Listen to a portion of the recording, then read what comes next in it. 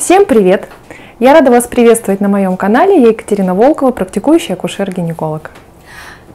Катерина, подскажи, пожалуйста, очень частый вопрос, который интересует, наверное, многих женщин. Как часто посещать гинеколога? А, вообще э, рекомендовано посещать гинеколога, если у вас нет никаких жалоб, э, в течение года хотя бы однажды. Этого будет достаточно, чтобы наиболее серьезные вопросы выявить и э, решить проблему. Э, Екатерина, подскажи, пожалуйста, вот есть такой вопрос, который, наверное, волнует практически каждую женщину. Угу. Я его, наверное, задам одним вопросом. Но вот смотри, как часто надо посещать гинеколога и вот при этом какое обследование нужно проходить, чтобы не пропустить ни в коем случае онкозаболевания? Серьезный вопрос, э, много выявляется проблем. И, в общем-то, основная заповедь, основное правило – это посещение гинеколога очно э, в кабинете хотя бы раз в год. Для этого, э, в общем-то, много говорить не надо, это всем известно. Второе мы обязательно должны в течение года взять у любой женщины, живущей половой жизнью, мазок на онкозаболевание, на онкозаболевание шейки матки прежде всего. Сейчас существуют хорошие современные методы, которые позволяют на ранних этапах, этапах выявить э, онкозаболевание шейки матки. Это обычный мазок на цитологию на стекле, это классический вариант обследования, и мазок на онкоцитологию методом жидкостной цитологии. Это более современный, более надежный вариант обследования. Третье – это УЗИ малого таза, УЗИ органов малого таза. Это хороший скрининговый способ выявить на ранних этапах еще заболевания. А, мы видим образование опухолей яичников, в частности, опухоли матки, опухоли эндометрия. Это то, что внутри матки. Ну и, в общем-то, э, какое-то либо динамическое наблюдение рекомендовать, либо э, направить на э, оперативное лечение. То есть это обязательно посещение раз в год, это обязательно мазок на онкозаболевания с шейки матки, это обязательно УЗИ малого таза. Четвертый пункт, он не менее важный, чем первые три, но мы его как-то обособленно будем обсуждать, это обследование молочной железы.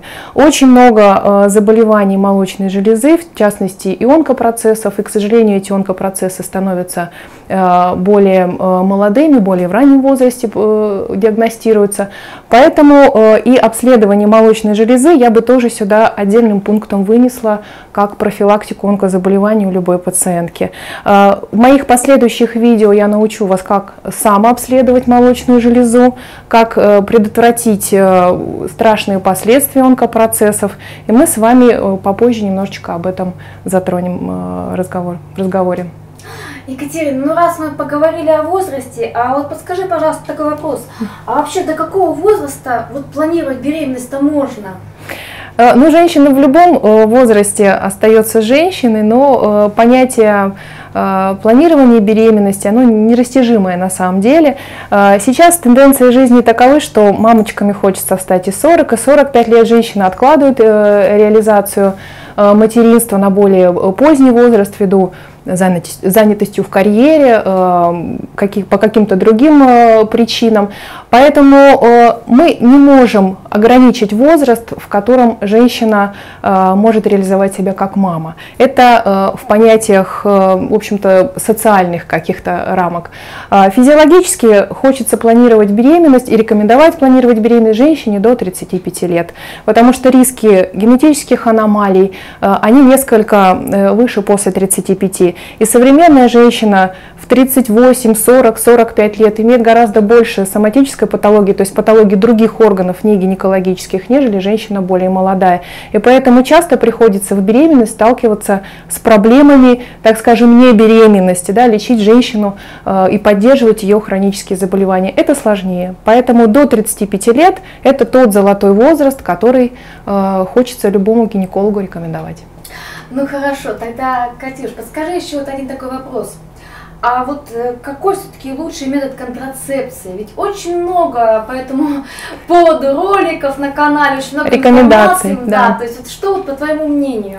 Э, вообще э, какого-то универсального совета в этой ситуации нет, поскольку мы говорим сейчас о наиболее часто задаваемых вопросах, да, и вот этот вопрос, связанный с контрацепцией, он практически на любом приеме амбулаторном так или иначе э, с пациенткой обсуждается.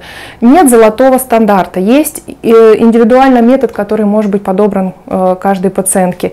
Разнообразие методов – это и гормональная контрацепция, и внутриматочная контрацепция, и барьерная контрацепция, множество разных методов. Я для себя не выделяю ни один как приоритетный.